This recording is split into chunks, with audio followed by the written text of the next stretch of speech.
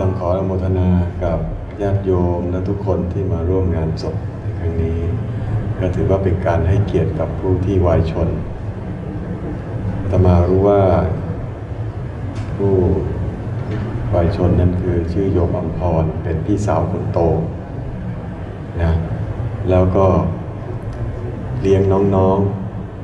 ๆใช่ไหมเลี้ยงน้องๆมาตั้งแต่ยังเล็กๆอยู่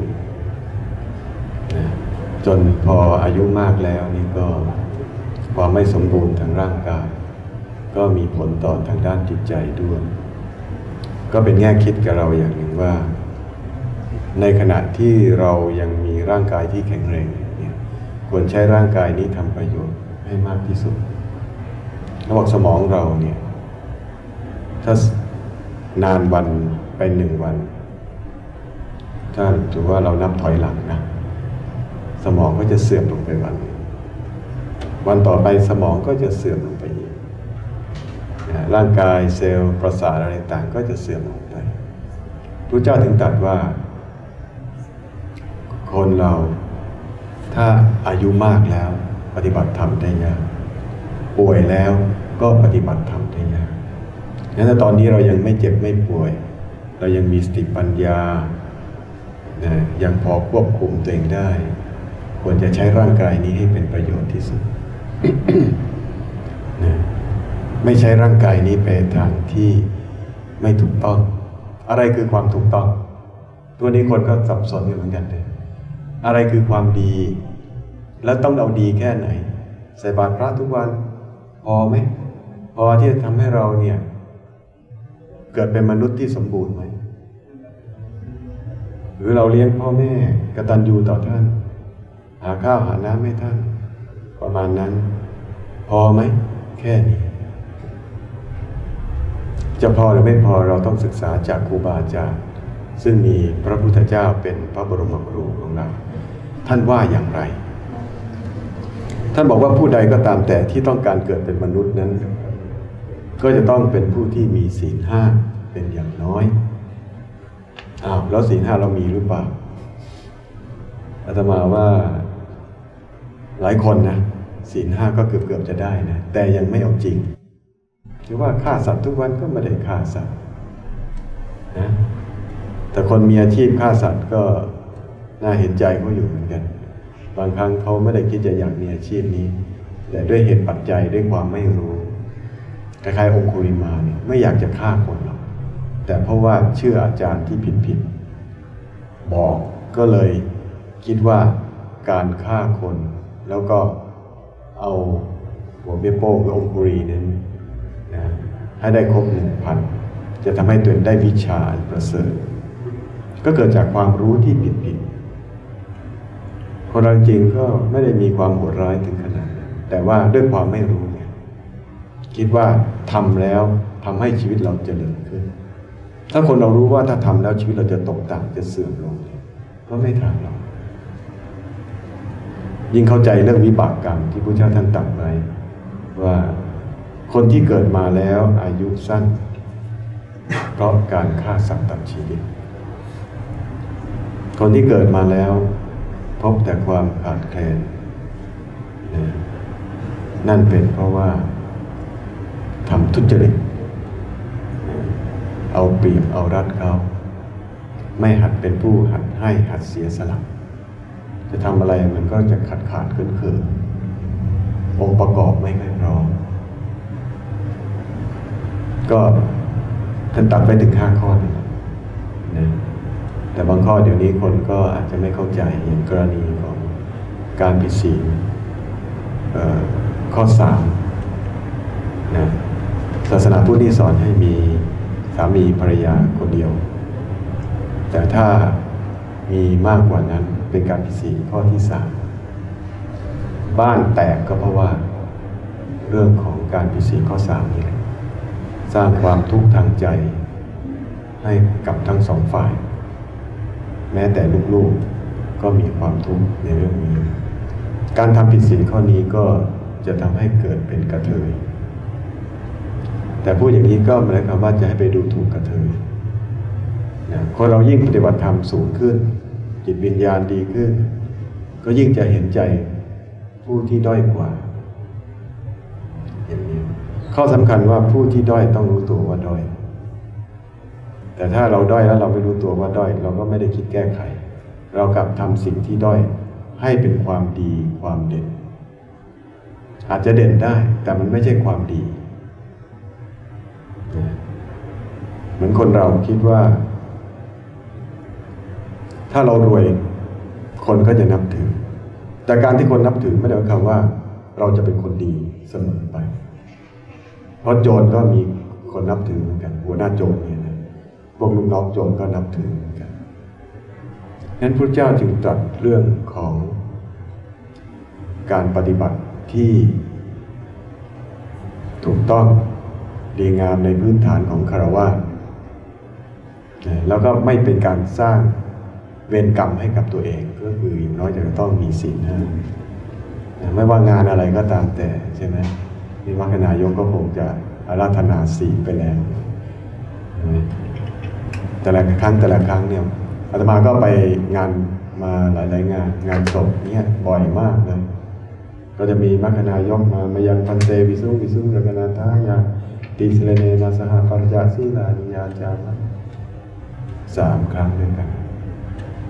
แล้วพระท่านก็จะไม่ใช่ให้สิ่งง่ายๆนะท่านต้องนั่นโมตัสสะก่อนนะบอกทำใจให้นอบน้อมต่อองค์สมเด็จพระสัมมาสัมพุทธเจ้านอบน้อมต่อความดีของท่านนะถ้ามีความดีอะไรเราก็ต้องศึกษา เมื่อเรากราบพระพุทธรูปเนี่ยเราก็ต้องศึกษากันตรงจุดนี้ แล้วก็นอบน้อมเมื่อนอบน้อมต่อความเป็นผู้เจ้าก็จะต้องเป็นผู้ที่ยึดถือ พุทธธรรมสังฆะเป็นที่พึ่ง เป็นเครื่องเกาะเครื่องยึดที่จะทำให้ตนนั้นนะเข้าถึงความเป็นพุทธะที่สมบูรณ์ขึ้นคือว่าเข้าถึงพระพุทธเจ้าพระเจ้าท่านตรัสไว้ในพระสูตรหนึ่งบอกว่า ผู้ใดเห็นธรรมผู้นั้นเห็นเรา ผู้ใดเห็นเรา ผู้นั้นเห็นธรรมเราเห็นธรรมหรือยังการถือศีลเนี่ยทำให้เราเห็นธรรมนะคงเคยได้ยินที่ญาติโยมทั้งหลายยินเรื่อง เป็นจศีลแล้วก็เป็นจธรรมอันนี้ก็ทำมาสำหรับคารวะถ้าเราถือศีลข้อหนึ่งได้ดีแล้วเนี่ยเราจะเกิดความเมตตาก่อนนี้ธรรมาก็สงสัยเหมือนกันนะเอ๊ความเมตตาแล้วเราทำไมต้องฆ่าสัตว์ด้วย อะไรอย่างนี้ยแล้วทำไมวันพระสัตว์มันยิ่งตายเยอะกว่าเดิมหรือเวลาพระมาวัดทำไมสัตว์มันถูกฆ่าตายมาก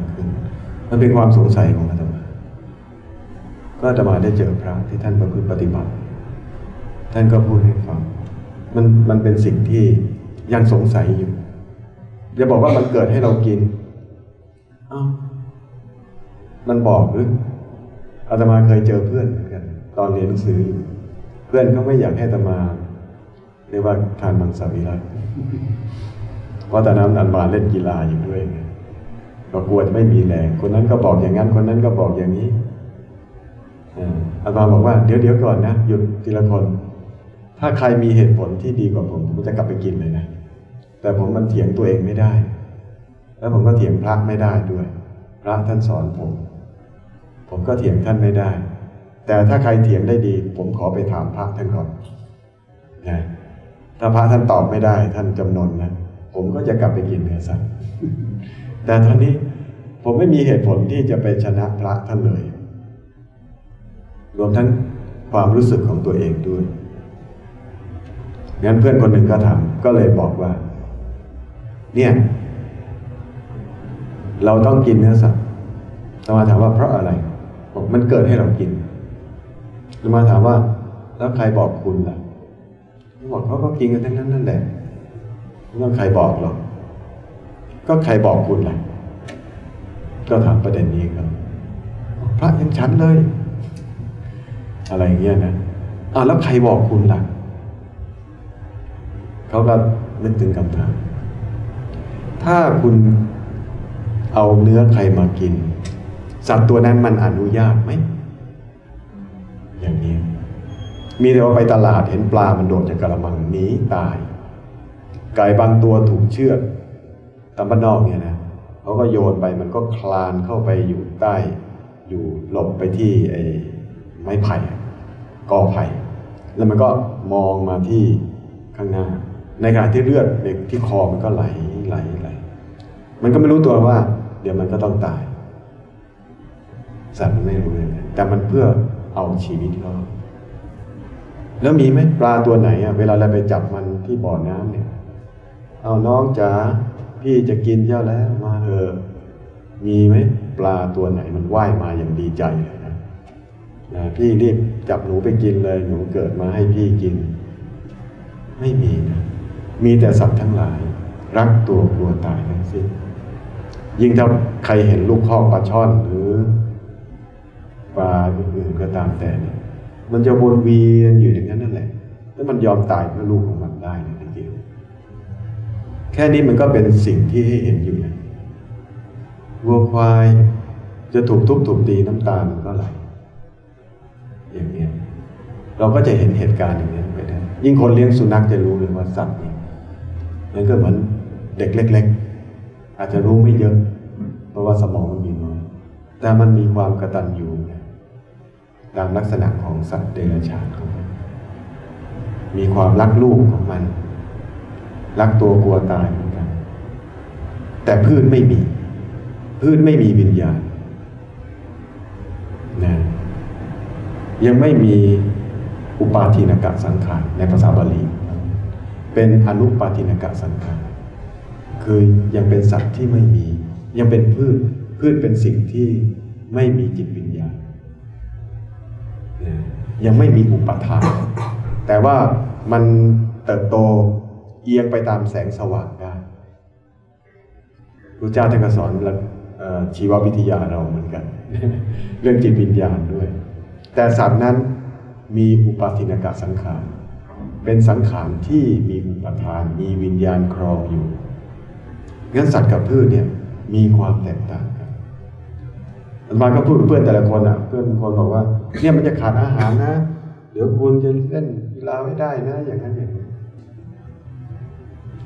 มาก็ถามว่ามันขาดสารอะไร ก็ขาดโปรตีนนะสิมาก็ถามว่าโปรตีนแปลว่าอะไรอ๋อมันก็ต้องเนื้อนะเนื้อสัตว์เนี่ยอ๋อโปรตีนแปลว่าเนื้อสัตว์อย่างเดียวถามเพื่อน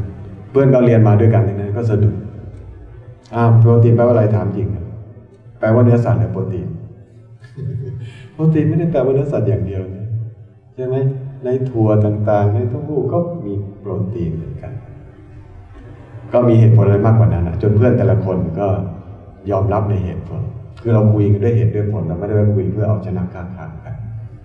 จนมีเพื่อนตมาอยู่คนหนึ่งนะเขาบอกเพื่อนตมาอีกคนหนึ่งซึ่งหันมากินมังสวิรัตจะถือศีลข้อหนึ่งให้บริสุทธิ์ขึ้น ทุกวันพระวันเกิดอย่างเงี้ยแล้วเขาก็ เจอเพื่อนอามาอีกคนหนึ่งเพื่อนบอกว่า นี่คุณอย่าเชื่อเขาเลยนะเขาพูดไม่ถูกหรอก อะไรอย่างนี้แต่ว่าเพื่อนคนนั้นก็มาเล่าให้ฟังว่า อืม มีอยู่วันหนึ่งเขากลับมาบอกใหม่ว่า เออ ที่วันนั้นผมพูดเนี่ยไม่ไม่ถูกนะคุณปฏิบัติกินมังมังสวิรัตแบบเขาถูกแล้วล่ะเมื่อเรามั่นคงคนอื่นจึงมั่นใจ เพราะไอ้เรื่องเนื้อสัตว์เราก็เคยกินมานานแล้ว เรามีทางเลือกที่ดีกว่า เราไม่เอาชีวิตเขามาต่อชีวิตของเรา เรื่องสิ่งข้อหนึ่งเรื่องใหญ่เป็นเรื่องกินเรื่องใหญ่ อาหารเป็นหนึ่งในโลกพระเจ้าท่านก็ตรัสไว้อย่างนั้นเหมือนกันตรงนี้มีเพื่อนอีกคนหนึ่งเขาบอกว่า อ๋อ คนนี้เขากินมังสันเลยเพื่อนอีกคนก็บอกเพื่อนธรรมาคนนี้ว่า ถ้าคุณพูดเขาเลิกกินได้นะ ผมได้รางวัลคุณเลยเขาก็เลยมาคุยกับธรรมา วันอาตมาได้ข่าวมาก่อน เขาถามเขาเลยถามว่าคุณได้ข่าวว่าคุณไม่กินเนื้อสัตว์หรอใช่ทำไมคุณไม่กินเนื้อสัตว์นะก็บอกเขาว่าเพราะผมไม่ต้องการเบียดเบียนชีวิตสัตว์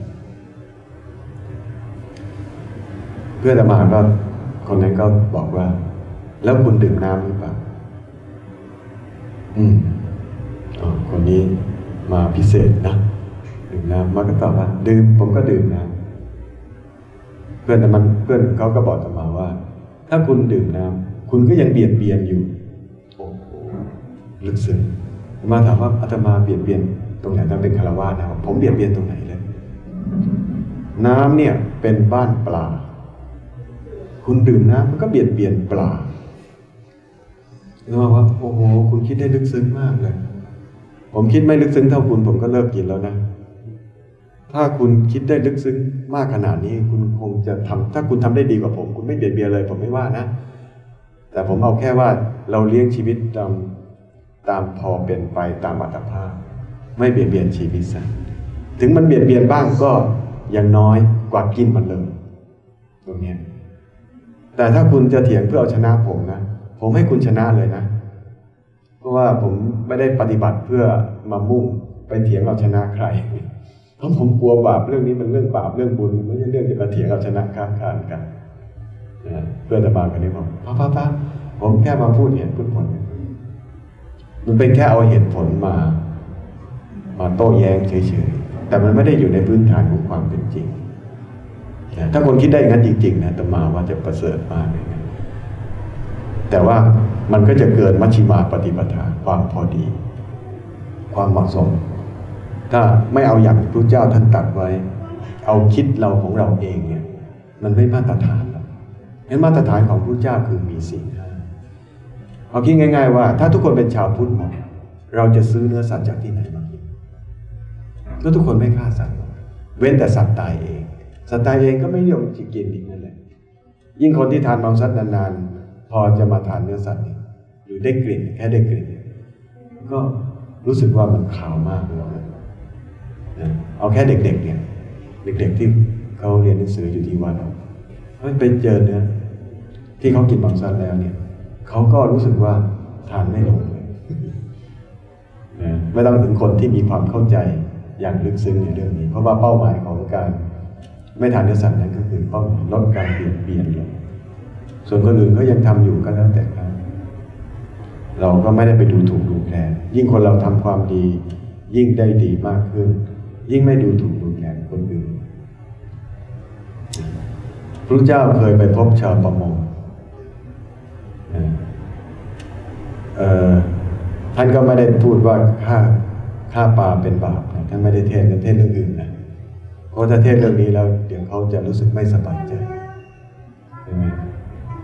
ปรากฏว่า ชาวประมงคนนั้นฟังธรรมได้ได้รู้สึกว่าเข้าใจรู้สึกซาบซึ้ง ก็อดถามพระเจ้าไม่ได้ว่าเอ ถ้าบอกว่าฆ่าสัตว์มันเป็นบาปแล้วผมฆ่าปลา มีที่ประมงมันไม่บาปหรือครับพระเจ้าท่านก็นิ่งๆไม่ตอบชายคนนี้ก็ถามเป็นครั้งที่สองท่านครับ การที่ผมเป็นชาวประมงยังฆ่าปลามันบาปไหมครับพระเจ้าไปนิ่งๆไม่ตอบนะจนถามเป็นครั้งที่สาม พระเจ้าจึงตัดเธอถามเองนะเธอถามเองเราก็ต้องพยากรณ์เราก็ต้องตอบไปตามความเป็นจริง มันก็บาปพอตอบว่าบาปชายคนนี้ก็ร้องแต่ที่ร้องไห้เนี่ย ไม่ใช่เพราะว่าเออรู้ยังไงอะรู้สึกว่าตัวเองเลิกไม่ได้ไม่ใช่นะแต่มีความรู้สึกว่าทำไมเพิ่งรู้ อันนี้คือคนที่มีบารมีเขาอย่างนี้เห็นไหมระลึกถึงวิบากกรรมประการหนึ่งที่พระเจ้าท่านมีวิบากก็คือเรื่องของปวดพระเศียรท่านบอกกับสาวกทั้งหลายว่าด้วยอดีตชาติเนี่ยเราเห็นชาวประมงจับปลา เรามีความยินดีหรือจับปลาก็จับไปฆ่านั่นแหละด้วยความยินดีนั้น ด้วยวิบากอันนั้นทำให้เราปวดหัว นี่นี่แค่ความรู้สึกยินดีที่เห็นเขาฆ่า สัตว์ตัดชีวิต สนุกสนานขนาดเป็นมาถึงพระเจ้ายังมีวิบากตรงนี้แต่มาพูดนี้ก็ไม่ได้ว่าให้เชื่อ แล้วแต่อันนี้มันมาศึกษามายังไง ก็เล่าให้ฟังตามนะศาสนาพุทธไม่ได้บังคับให้เชื่อ เวลาจะเป็นเครื่องพิสูจน์เอง เพราะตมาก็ปฏิบัติมังสันมาไม่ต่ำกว่าสี่สิบปีแล้ว สี่ข้อที่ข้อที่สองเรื่องขโมยก็ไม่ได้ขโมยอะไรใครอยู่แล้วข้อสามเป็นชุดก็ไม่ได้มีอะไรอยู่แล้วข้อสี่อ๋อจะโกหกเราไม่รู้จะโกหกไปทำไมนะเราไม่เราไม่ต้องโกหกหรอกแค่เราไม่โกหกตอนนี้ก็ไม่ ก็ไม่โกหกสีแล้วก็บริสุทธิ์บุหรี่เหล้าเราก็ไม่ไม่ยุ่งเกี่ยวอยู่แล้วการพนันเราก็ไม่เอาอยู่แล้วศีลห้าเราก็ครบอยู่แล้วนะรู้สึกว่ามีปิติที่เรามีศีลห้า การจะให้เรามาพูดกับชาวต่างประเทศเนี่ยยากไม่ใช่ง่ายดังนั้นการที่เรามีชีวิตอยู่อย่างเนี่ยถ้าเราใช้ร่างกายใช้จิตวิญญาณ ใช้พลังของเราเนี่ยในการทำตนให้บริสุทธิ์อย่างน้อยสี่ห้าได้ แม้ในวันหนึ่งคืนหนึ่งก็มีอานิสงส์มากกว่าคนที่มีอายุอยู่ร้อยปี โดยไม่มีศีลห้า พระเจ้าท่านตรัสว่าผู้มีความเพียรในการทำความดีแม้วันหนึ่ง ดีกว่าคนที่ไม่มีความเพียรมีอายุอยู่ถึงร้อยปี แตกต่างกันมากเลยแล้วงานของชาวพุทธเราเนี่ยเราจะรู้ว่าเป็นงานชาวพุทธหรือไม่ใช่ชาวพุทธก็ตรงดูที่ว่า งานที่จัดนั้นเนี่ยละเมิดศีลห้าหรือเปล่า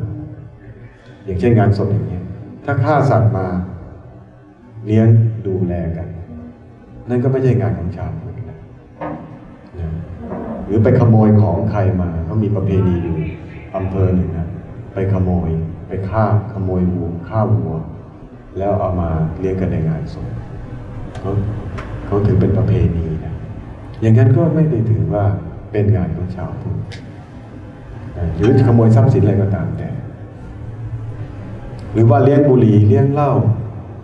มีการเล่นการพนัน นี่ยอาตมาเคยมากินนิมนต์ทางภาคเหนือเนี่ยก็ชื่นชมเจ้าภาพนะว่าโอ้งานนี้ดีไม่มีการพนันนะ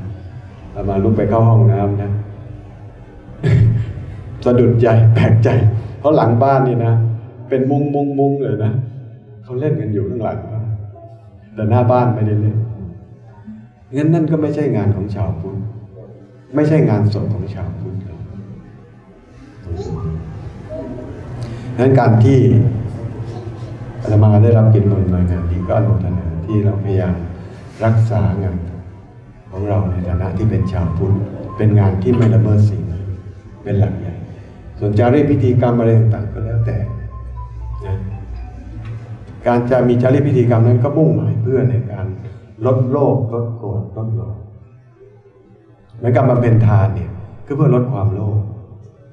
แต่บางคนทำทานทุกวันนี้โลภกว่าเก่า ข้าวทัพพีหนึ่ง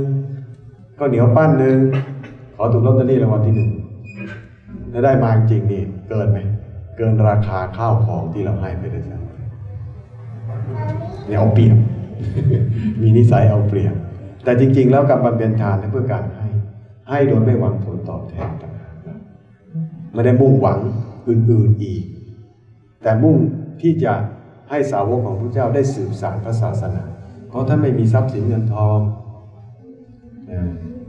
พระวินัยแค่สมณเณรก็ไม่ให้ใช้เงินแล้วนะถ้าเป็นพระภิกษุก็ยิ่งไม่มีเงินเลย ต้องมีโภคคันธาปหายะยาติปริวัตังปหายะแม้แต่ญาติก็มามีญาติที่เป็นญาติทางธรรมเท่านั้นนะแต่ก็ตอบแทนบุญคุณพ่อแม่ แต่พระเจ้าแต่ว่าการตอบแทนผู้มีพระคุณนั้น คือการถือศีล ท่านพูดไว้ชัดเจนมากเลยวันนี้ก็ได้มาให้ให้แง่ความรู้ แล้วสวันนี้ก็พูดให้ฟังคร่าวๆ ส่วนในประเพณีงานศพอะไรต่างๆ การมีดอกไม้อะไรเหล่านี้เนี่ยก็เป็นเครื่องสะท้อนให้เราเห็นว่าชีวิตคนเราเริ่มต้นก็เหมือนดอกไม้อย่างนี้แหละ แต่เมื่อหลายวันหลายวันเขาก็จะเหี่ยวเฉาไปเหมือนอาจารย์ใหญ่ในโลกนี้นะยมพี่ยมพร มาเป็นครูสอนให้กับเรา ไม่มีอะไรเที่ยงแท้ยั่งยืนนะดอกไม้สวยสดงดงามปานใดก็ตามแต่ แต่นับวันก็ลงตั้งแต่วันแรก กลิ่นก็จะเปลี่ยนไป ชีวิตเราก็ไม่แตกต่างกัน เราอาจจะหนุ่มสาวหรือเป็นเด็ก แต่ทุกคนเดินไปทางสู่หลุมฝังศพทั้งสิ้นดังนั้นมิพึงที่จะประมาทพึงได้สิ่งสิ่งที่ควรได้ควรถึง